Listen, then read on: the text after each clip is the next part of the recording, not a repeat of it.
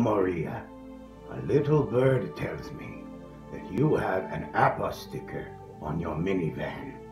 That is, as the youngsters say, totally lit.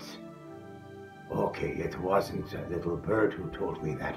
It was your brother-in-law, Jason. He also tells me that you are married to John. You have three beautiful children, and that you are a baker. Being a man who clearly loves his carbs, I applaud your career choice, and I would love to sample one of your cake pops. Last, but certainly not least, I understand that your 50th birthday is approaching. Such a youngster you are. You know, at my age, there's only one big surprise left, and I'd just as soon it remained a mystery. In any case, happy birthday, dear Maria. Happy birthday to you.